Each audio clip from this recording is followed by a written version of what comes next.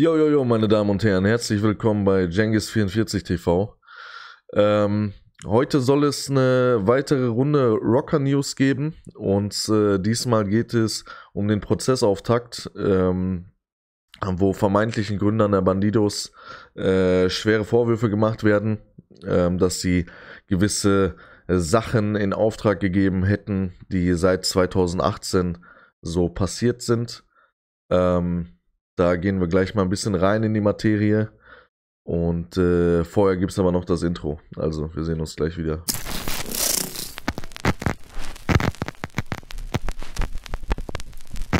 Jo, da sind wir auch schon wieder.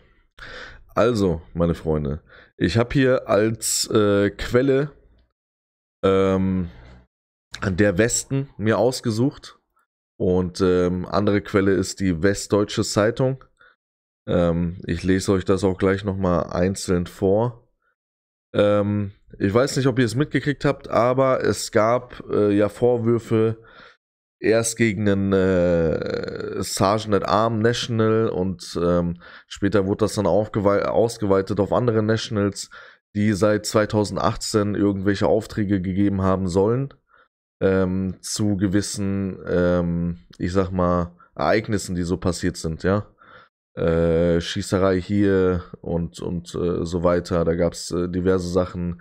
In äh, Köln das Ganze, äh, wo äh, der Bandito Presi sich mit, mit einem Hells Angel da aneinander geraten ist und das zu einer Schießerei gekommen ist. Also diese einzelnen Konflikte von einzelnen Mitgliedern sollen jetzt zusammengepackt in diesem Prozess nochmal aufgerollt werden ähm, weil angeblich dahinter jedes Mal irgendwelche Auftraggeber waren, ja. Und ähm, meine Meinung dazu erfahrt ihr gleich. Ich werde das auch nochmal anhand von einem, äh, von einem konkreten Beispiel festmachen, warum ich diese Meinung habe. Aber wir gehen erstmal in den Artikel rein, würde ich vorschlagen. So. Und zwar, ja, der Westen schreibt, NRW-Prozessauftakt nach Rockerkrieg, schwere Vorwürfe gegen Bandidos-Gründer. Und dann geht's ja ab. äh, war ja am Donnerstag, ich hatte bei der letzten Rocker News, glaube ich, auch gesagt, dass es äh, am, am Donnerstag losgeht. So, und dann geht's hier ab, ne? Hagen, das Sicherheitsaufgebot am Donnerstagmittag am Landgericht Hagen, NRW, ist groß. Bereits mehr als 30 Minuten vor Beginn der Verhandlung positionieren sich mehrere Polizisten vor Saal 201. Wie dramatisch. Der Grund ist der Auftakt eines Rockerprozesses. Fünf Mitglieder des Bandidos MC, darunter die Gründer der äh, Bandidos Deutschland, müssen sich vor dem Landgericht Hagen, NRW, unter anderem wegen versuchten Mordes, illegalen Waffenhandels oder auch wegen der Beteiligung an einer kriminellen Vereinigung verantworten. Fünf Bandidos vor Landgericht Hagen. Die fünf Angeklagten Leslav Thaddeus H. 58, Peter M. 56, Björn, Björn B. 51, Selahattin E.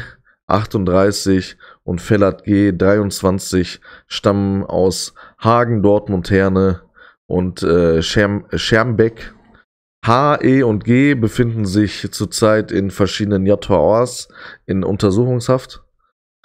Ähm, hier wird dann nochmal drauf eingegangen, wer in dem Bild zu sehen ist. Überflüssig finde ich sowieso immer affig, dass sie da so eine, so eine äh, zur Schaustellung veranstalten.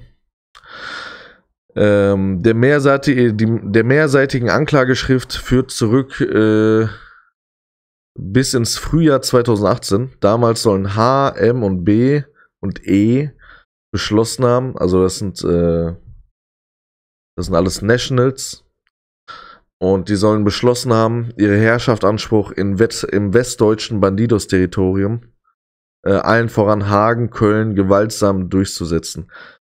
Äh, Leslav Thaddeus H. soll damals in der Rolle des National Vice Presidente der Federation West Central agiert haben, des größten Bandito, äh, Bandidos Regionalverbandes in Europa. Anschließend soll äh, Selatin E im September 2018 eine Bestellung von 50 Walter P22-Pistolen im Auftrag gegeben haben, die anderen, äh, die an die einzelnen Regionalgruppen äh, Chapter verteilt werden sollten. Anklageschrift äh, spricht von zwei brutalen Racheaktionen. Am 24. November 2018 eskalierte die Lage. Gegen 1.24 Uhr äh, wurden Schüsse auf das Kölner Café Türkisch Deluxe abgefeuert, in dem sich einige Bandidos aufgehalten haben sollen.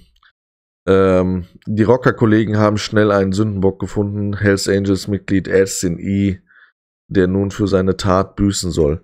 Wie gesagt, ich lese dir nur vor, ne? Das ist, äh, ich würde so eine Sachen so nicht sagen. Deshalb sollen zwei gesondert verfolgte Verdächtige am 8. Dezember auf der B55 A in Köln mehrfach auf das Auto von Elsing geschossen haben. Ich glaube, die einzelnen Themen habe ich alle schon in den Rocker News behandelt. Ne? Das heißt, wenn euch jetzt das ein oder andere bekannt vorkommt, dann liegt es einfach äh, daran, dass ich schon über die Sachen geredet habe. Äh, in diesem Prozess sollen jetzt aber diese einzelnen Sachen, die gewesen sein sollen, immer Auftrag von den angeklagten Herrschaften äh, gewesen sein, ja. So, dieser befand sich jedoch nicht im Wagen. Einer der Insassen wurde im Kugelhagel lebensgefährlich verletzt. Den Auftrag für das Attentat soll der Angeklagte Selatin E. gegeben haben. Hm. Nur wenige Wochen später folgte die nächste mutmaßliche Vergeltungsaktion. Nach einer äh, Schießerei zwischen dem Kölner Banditos-Präsidenten, hatten wir glaube ich auch alles abgehakt, und dem Hells Angels-Mitglied Orhan A ähm, am 4. Januar 2019 soll E erneut einen Gegenanschlag angeordnet haben. Der Angeklagte Fellat G. soll mit einer weiteren Person 14 Schüsse in Kopf- und Hüft Hüfthöhe auf die Eingangstür des Kölner Lokals Jokers abgefeuert haben. Dessen Inhaber, der Vater von Orhan H., glücklicherweise wurde bei dem Angriff niemand verletzt. Das war diese Sache, wo äh, angeblich mit einer Scorpion, also mit so einem äh, Maschinengewehr, ähm, durch die Tür geballert wurde, ne? Am 16. November soll Fellat G. für diesen Angriff auf das Jokers das Patch Expect No Mercy verliehen worden sein, wodurch er zum vollwertigen Banditos-Mitglied aufstieg.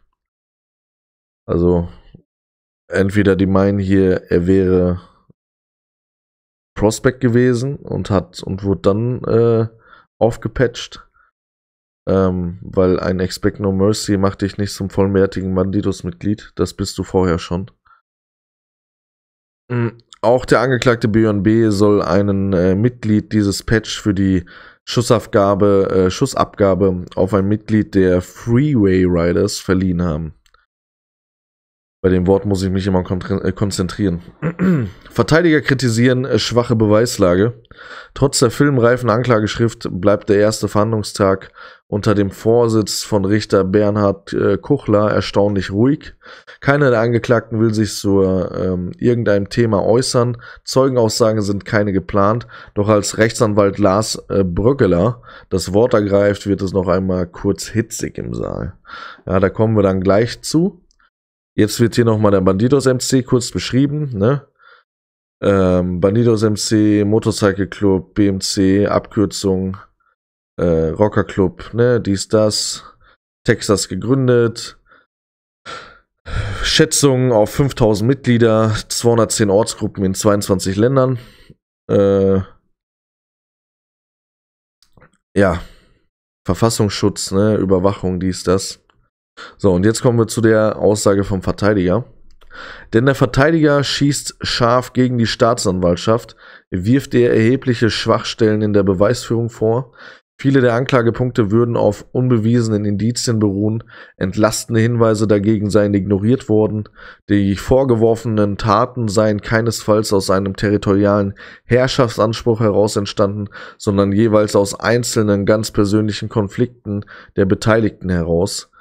Die Angeklagten, die größtenteils zur Führungsebene der Bandidos gehören sollen, hätten diese nicht angeordnet.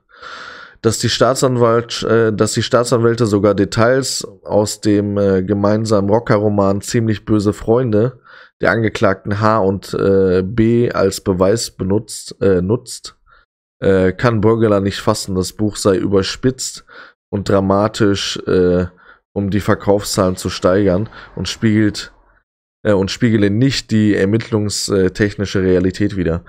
Das ist halt auch, das ist halt auch so, so Banane, oder?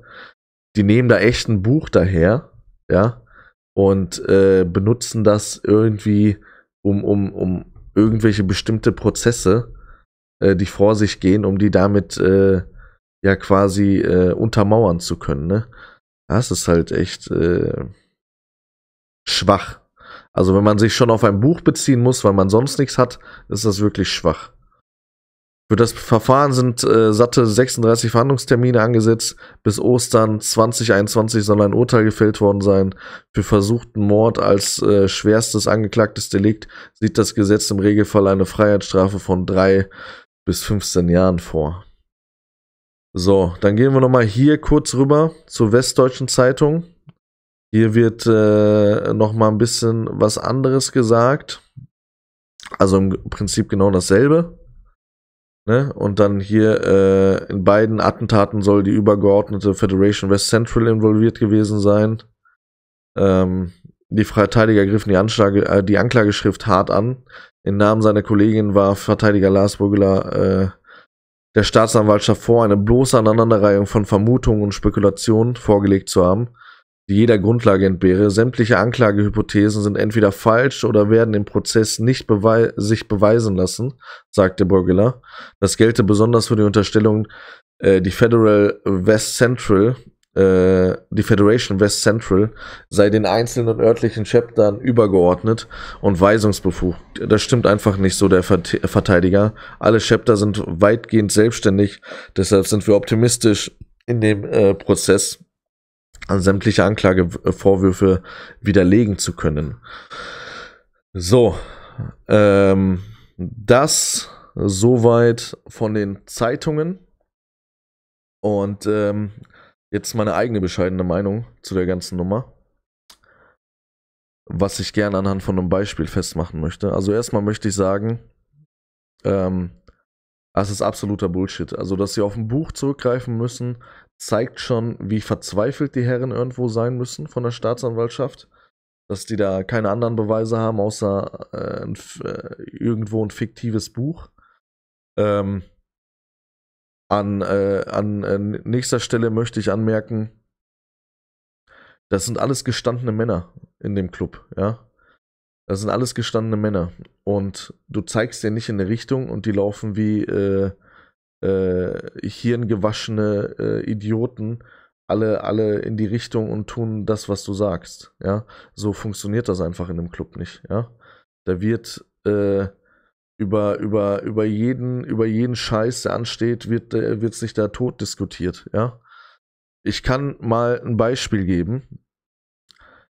Zu meiner Zeit äh, kam das gerade so in Mode mit den verschiedenfarbigen Kutten.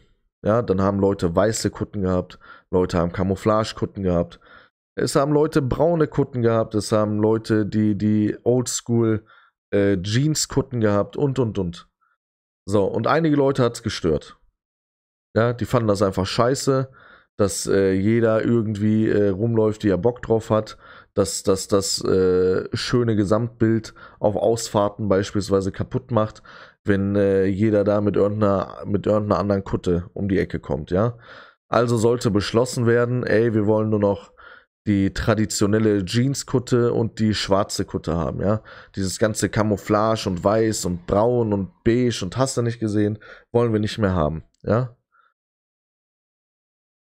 Dafür, um, um das durchzusetzen, hat es eines National Meetings auf dem National Run bedarf. Ja. Und am Ende wurde da gar nichts beschlossen. So. Man hat es einfach, jeder hatte eine andere Meinung, hat einfach nicht gezogen, jeder hat sein eigenes Ding gemacht, weiterhin. Und deswegen konnte man sich nicht mal auf eine einheitliche Farbe für die Kutten einigen. Und da kommen die Leute von der Staatsanwaltschaft daher und meinen, dass wenn man nicht mal irgendwie sich auf eine Kuttenfarbe einigen kann, weil jeder sein eigenes Ding äh, macht, dass man dann einfach so äh, Leute äh, zu Straftaten auffordern kann, wo die, wo die Täter äh, äh, riskieren, mehrere Jahre in Bau zu gehen. Ja, also das ist, also an dieser, an diesem Punkt hinkt das halt hart, ne? Das ist halt wirklich äh, Hirn verbrannt. Und wer das glaubt, dem ist echt nicht zu helfen. Ne? Also so funktioniert das auf jeden Fall nicht. Ähm, deswegen an dieser Stelle äh, free, ja, Freiheit für alle, für alle ähm, Jungs, die da gerade, beziehungsweise Männer, die da gerade im, im äh, Bau sitzen, äh, in Untersuchungshaft äh, wegen dieser Scheiße, ja. Äh, ich hoffe, deren Unschuld wird schnell bewiesen und dass sie dann rauskommen, weil das ist echt, also, das ist wirklich halt Humbug, ne? Wie gesagt, also, dass man sich da auf ein Buch alleine stützt oder mit auf ein Buch stützt, das ist ja schon, das zeigt ja schon, wie absurd das Ganze ist, meiner Meinung nach. So, ähm, ihr könnt natürlich wie immer eure Meinung auch in den Kommentaren posten. Lasst ein Like da, äh, wenn euch das Video gefallen hat. Äh, abonnieren nicht vergessen. Und in diesem Sinne, ich bin raus. Wir sehen uns. Peace. Ciao.